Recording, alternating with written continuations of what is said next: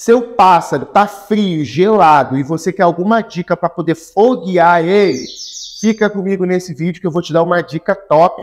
Mas antes disso, eu quero te falar algumas coisas que você não pode fazer com o seu pássaro quando ele está frio, para você não prejudicar o seu pássaro e acabar perdendo ele ali na temporada. Galera, a primeira coisa que não se faz com o coleirinho, um papa-capim frio, é levar ele para beira do mato, porque às vezes o pássaro, às vezes não, o pássaro que está no mato, ele é muito territorialista. E às vezes você pode chegar perto de um ninho que, que a fêmea está chocando ali, está cuidando de filhote dele, e ele pode ficar muito agressivo. E um pássaro que às vezes está querendo voltar ali ao seu nível normal de cantar, de foguear, de bater ordem, vem aquele pássaro cheio de ordem na gaiola dele, provavelmente seu pássaro vai desazar aí e você vai ter um problemão com o passarinho corrido. Eu já tive problema parecido com isso. Não foi exatamente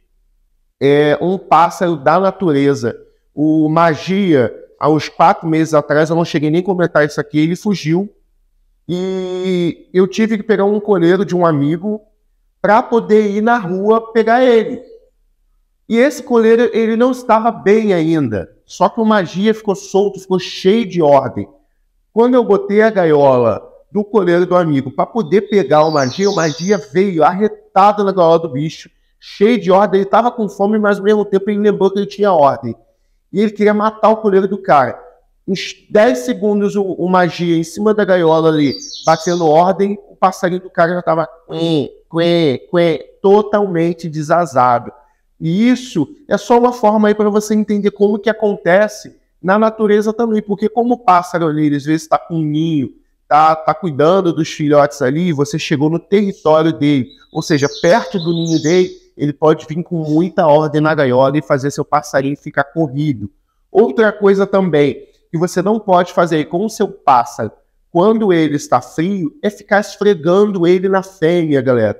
Eu vou te dar uma dica matadora aqui para você saber quando o seu pássaro ele já está pronto para fêmea, tá? A primeira dica aí para o seu pássaro, para você saber que o seu pássaro está pronto para fêmea, é que você precisa botar um ninho na gaiola, tá?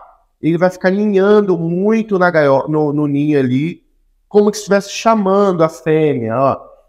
Tá vendo? Esse movimento que ele está fazendo aqui, de ir nos cantinhos da gaiola, esse pássaro ele estava frio, Há uma semana atrás eu fiz até um vídeo ensinando como foguear um pássaro. Ele estava frio, olha como o bicho já está cantando.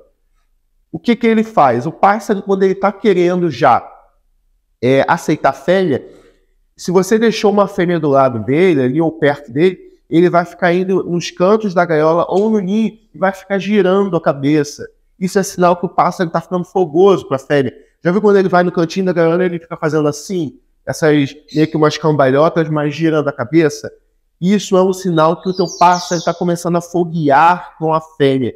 Então, amigo, se o seu pássaro não está apresentando nenhum apetite ali sexual pela fêmea, não fica aí esfregando o teu coleiro na fêmea para poder atrasar ele, porque o pássaro ele gosta de fêmea quando ele está quente, tá? E como eu disse, uma das dicas top aí para poder esquentar o teu passarinho é botar um ninhozinho. Olha lá, ó. Esse menino tem que ir pra Hollywood, filho. Ó, eu tô falando aqui, ó. Ele, tá ali, tutorial, cara. Ciborguinho tutorial. Olha lá, o ninhozinho. Eu botei duas filhotas do lado dele, que as filhotas piam muito. E ó, ele no ninhozinho ali, todo fogoso.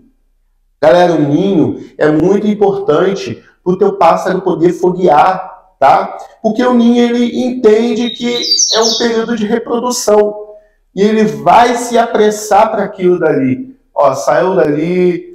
Outra coisa também muito importante que o safado já até jogou aqui, ó, mas eu vou pegar da fêmea aqui, que é o matinho, ó. Matinho na gaiola, galera. Matinho, ele esquenta muito pássaro, muito mesmo. Tanto que nesses dias, esse dia já tem um tempo aí, eu fiz um vídeo sobre é, a mexida de parceiros, que é botar as gaiolas uma do lado da outra. E eu, sem querer, coloquei o um matinho. eles ficaram tão fogosos, mesmo ali com uma mexida que é para esfriar eles, que eles começaram a brigar, cantar de cara. Os pássaros que já estavam, tipo assim, uma semana frios, frios, frios. Então, o matinho, cara, comprovadamente esquenta.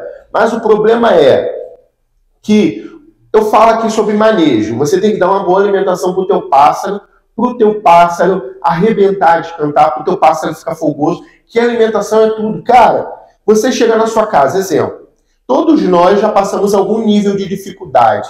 Você chegava às vezes na sua casa ali, ou você está provavelmente passando por algum nível de dificuldade e só tem arroz e feijão. Graças a Deus que Deus está colocando comida na sua mesa ainda e tem arroz e feijão. Mas mesmo assim, não é aquela coisa, sabe? Você só fica botando alpiste com o passarinho.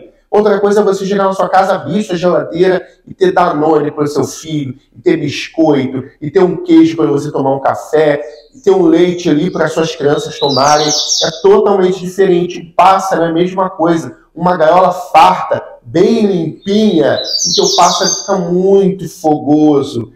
Então, galera, como eu disse, é que, é que eu, eu falo aqui, você tem que dar uma boa alimentação, você tem que fazer esse manejo. Aí o camarada faz o manejo durante dois dias, três dias e para de tratar o bicho bem. O bicho vai desandar, cara. Que manejo, o, a, a criação é algo constante, não é algo esporádico. Aí o cara deixa a gaiola toda cagada a semana toda, sábado, domingo que ele tá em casa, ele vai limpa a gaiola, bota giló, bota pepino, faz, parece um hortifruti a gaiola do cara bota matinho, bota tudo, e segunda-feira o bicho volta para a mesma mesmice. Gaiola sem nada para o passarinho comer, comida só no farelo, água suja, fundo todo cagado da gaiola. Galera, a criação tem que ser constante. Se você quer resultado com o seu pássaro, você não, não, é nem que você tem que ficar fazendo certo, tem que evitar de fazer o errado. E o errado é você ficar deixando o teu pássaro largado. Não adianta eu falar que para você bota o ninho, bota o matinho e você abandonar o teu pássaro a semana toda. Quando chegar capaz teu bicho está morto dentro do ninho. Galera, cuida bem do seu bichinho, tá? Que com certeza você vai foguear o teu bichinho. Eu botei um vídeo aqui também sobre uma vitamina aí que esquenta o pássaro. Vai aparecer aqui no card do vídeo. Essa vitamina é o Protovit Plus ela esquenta muito, passa três diazinhos ali com uma gotinha no bebedouro, cinco dias com uma gotinha no bebedouro. É fácil de achar, tá? Na farmácia você acha, você coloca ali na aguinha do bicho e o teu bicho vai ficar arretado. Galera, eu espero que eu tenha ajudado vocês com o conteúdo desse vídeo. Aqui na descrição tem um link do nosso grupo de WhatsApp, que a galera se comunica bastante, ela troca muita ideia sobre criação. Você vai gostar bastante, entra lá. Também deixa aquele joinha aí da humildade, se inscreve no canal também. Deixa seu comentário aqui para o engajamento do vídeo ser maior, porque o YouTube entende que quando tem pessoas interagindo com o conteúdo, deixando comentário, deixando like, se inscrevendo, esse vídeo está sendo relevante para a comunidade. Então, se esse vídeo está sendo relevante para você, deixa teu comentário aqui, deixa o teu joinha, deixa a sua inscrição também, para que mais pessoas possam ser alcançadas com esse conteúdo. E eu fico por aqui, sorte na vida e sucesso na criação. Deus abençoe e até